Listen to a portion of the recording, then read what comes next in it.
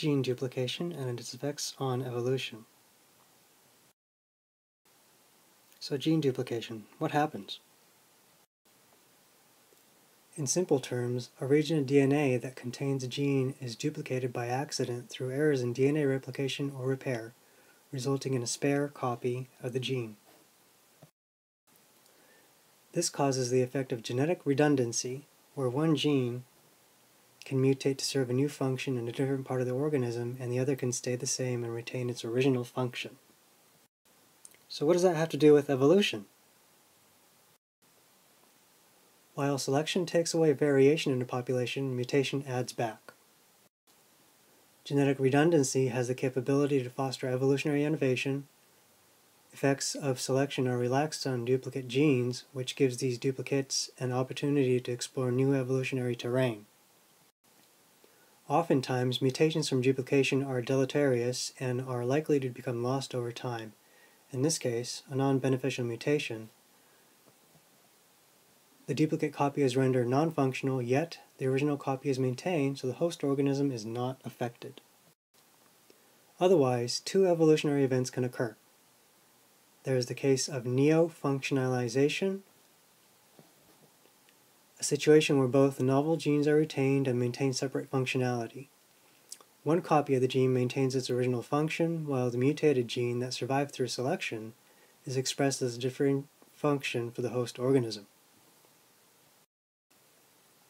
In the case of subfunctionalization, both copies of the genes may go through mutations that require that the novel genes complement each other, these mutations can be silent where the original function of the gene is maintained by the two novel genes, serving the function of the original gene, or adaptive, where the two novel genes perform two novel functions when they coexist.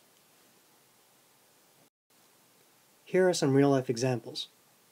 In plants, or any living creature for the matter of similar origin, Many phenotypic and genotypic properties are largely conserved through evolutionary timescales over the diversification of many species.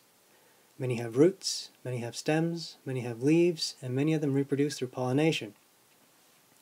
This seems to be good indication that major clades of plants have not evolved by inventing new genes as time went on, but rather had a common ancestor that started with the basic genetic toolkit pre-existing genes that through gene duplication and mutation resulted in the many species of plants that exist today.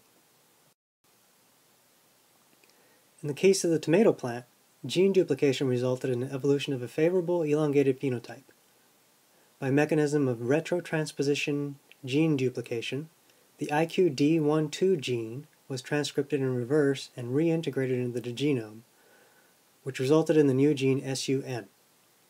This novel SUN gene was in turn, by chance, placed in a different regulatory environment that involved the early stage of development in the tomato plant, causing the elongated phenotype sometimes favored by the population today.